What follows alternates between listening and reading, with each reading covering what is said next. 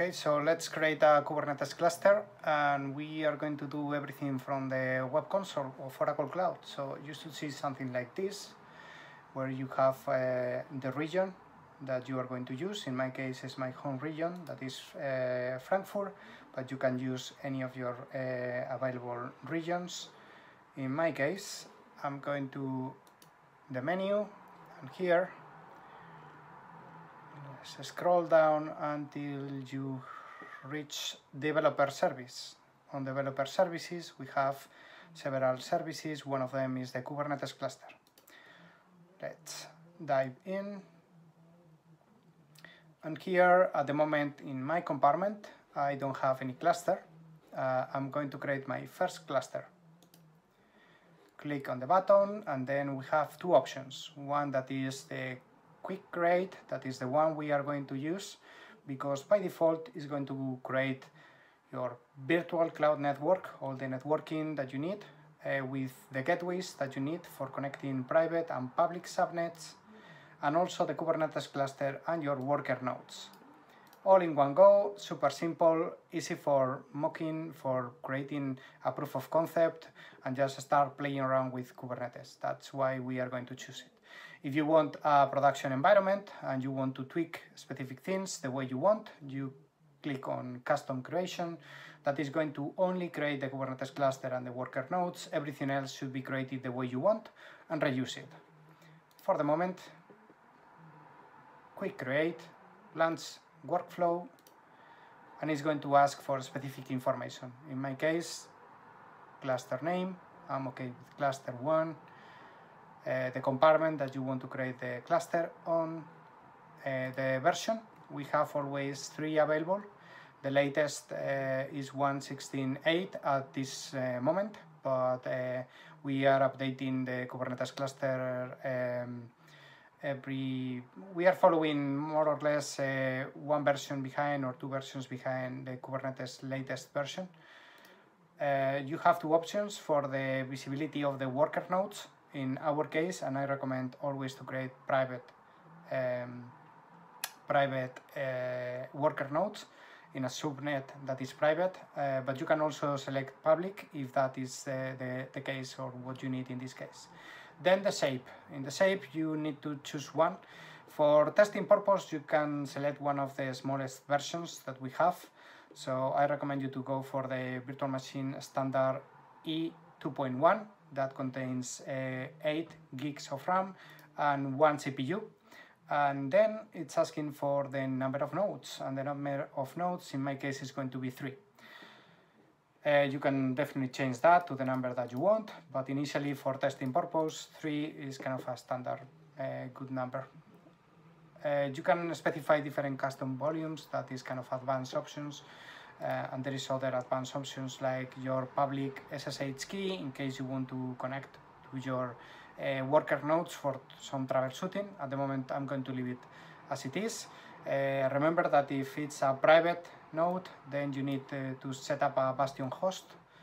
Uh, and there is some information here if you want to go that way, and you can even label uh, your nodes. For the moment, I'm okay with the standard options. We click next. We double check that all the information is the way we want. And after that, we click create cluster.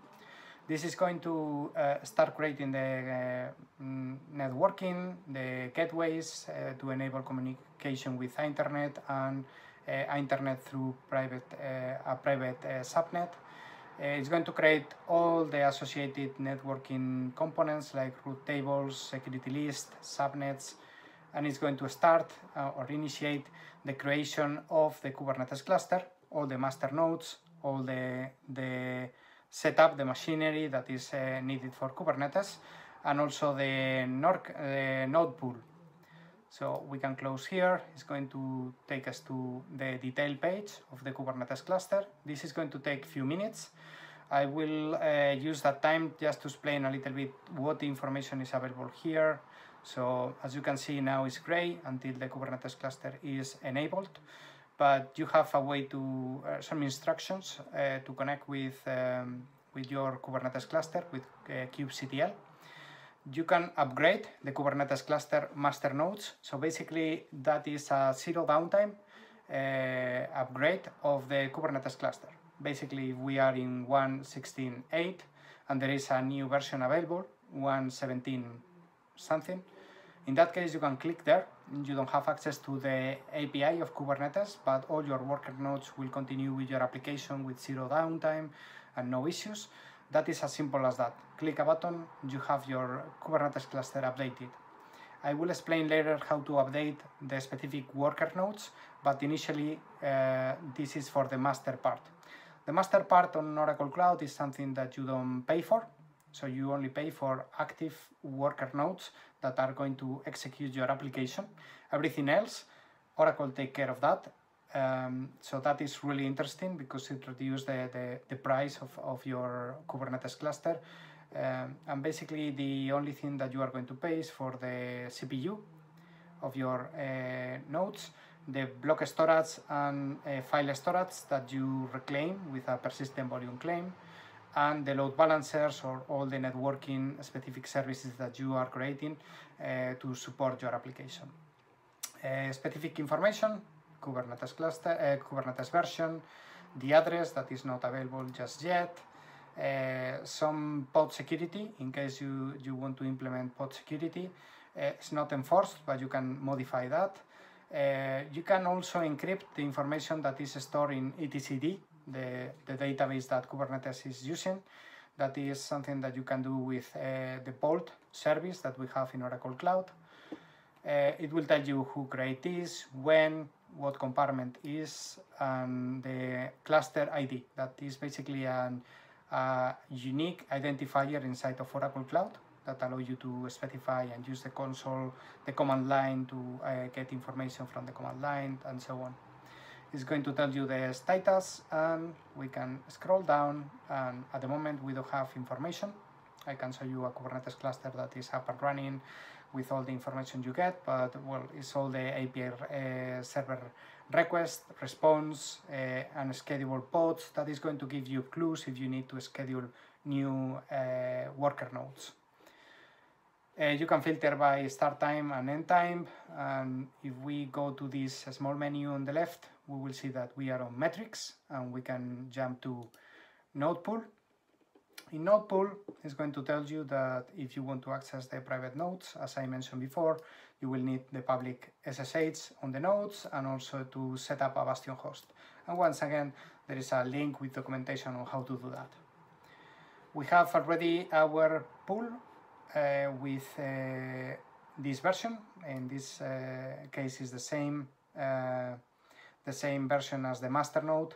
Uh, and in case we want to update that version, that part and it's already jumping into active state so that's great because we can continue with the with the demo um, eh, in order to update that version imagine that we move the master nodes to 117 and we want to move the, the nodes there is uh, two approaches but it's the same functionality basically what you do is um, to create new ones and then drain the old ones. So all the pods are migrated to the new ones with a new version operating system patches everything is a new version. Then you drain the old ones and that means that at some point you can deprecate them. Uh, that is one way. The other way is that you can grow one pool. Instead of creating a separate pool you can grow this pool with another three nodes and then do the same approach. Drain the old ones wait for the new ones to have all the workload and then you can uh, delete the old ones. If we jump into the pool, we will see specific information about the pool. In our case, it's active already.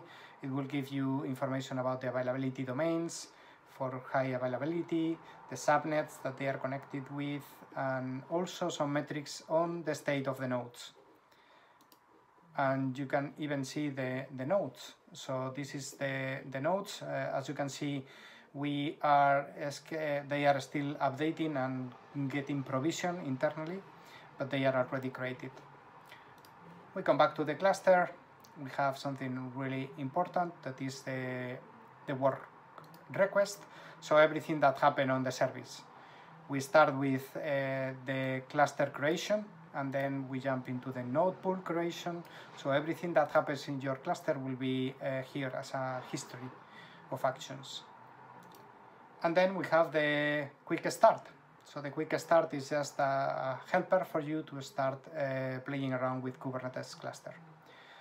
Uh, let's click there and there is two options. One, if you have to use your kubectl on your local environment, on your machine, uh, you click there and you have all the options, everything that you need. So as a requirement, you have the OCI CLI in a specific version. You have to use that, configure it. You have links to the documentation there. When you are happy, you should be able to run this to know the version of the OCI library, the OCI application, and then you start creating the folder for the uh, configuration of your kubectl, and then you run this command that is going to give you all the kubeconfig that you need to talk to your Kubernetes cluster. And that is all. Uh, in this case, we are going to use uh, something really interesting that is the Cloud Shell. So Cloud Shell is uh, a shell that is embedded in your uh, web console. So we are going to launch it. You either click here, but the traditional way as well is to go here. I'm going to click. It's going to start spinning a small virtual machine that is free. It's not part of the uh, services that are going to, to consume uh, your budget and it's basically a small virtual machine that has a lot of tools already installed that allow you to talk to Oracle Cloud, to like the OCI uh, CLI. It also have uh, kubectl, it has uh, Python, Node, and some other languages that you can start creating your scripts or play around. And it has direct access to your cloud. So it's kind of a really hand, handy way to just start talking to Oracle Cloud from a console like if you were on your local environment. So let's wait for that to spin. And after that, we are going to run uh, this command. So I'm going to copy and run it here. So as you can see, this is just a, a, a Linux machine with all the capabilities. It has like five gigs of storage uh, that should be enough for you for doing testing and, and create some proof of concepts. I'm going to paste that, run it, and after that we should be able to run kubectl to get our nodes. Okay, so let's say kubectl and we are going to get the nodes. This might work or not depending if the nodes have been fully provisioned, so I'm going to run it and see what is the result. I also check that, yeah, for example, there is no uh, resources on the fold um, uh, default namespace. So that is a way for you to check that kubectl is working, that is checking the version, and that is going to tell you the, the version of the local. We are talking about 1.16.13 and our Kubernetes cluster is 1.16.8. So we already have connection with the Kubernetes cluster and what we can do is close this and we are going to go to the next step that is deploy an application you can run that command that basically is going to go for that deployment. Let's uh, check if that is available. I'm going to open another tab. I put it here. It's already downloaded so it's available. And let's uh, let's execute it here. So I'm going to copy this running on my console. Let's actually clean it.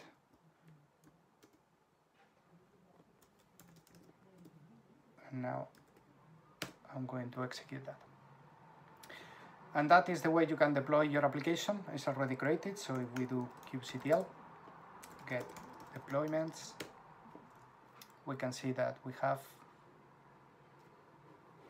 a deployment that it has zero of, of two uh, ready. Uh, if we check this in few seconds, uh, we will see that it's available, everything is up and running, and we have deployed our first application in Kubernetes cluster. Super simple and nice thing to do to test your, uh, your account. And that is the two pods that we requested on that uh, specific deployment. So let's test something else that is, let's get that file now we have the deployment. We are going to I'm going to open that maximize the window of the terminal. That's good. And then we are going to open that file. And as as we see we have two replicas of an nginx that is the the, the two containers that the two pods that we are specifying here.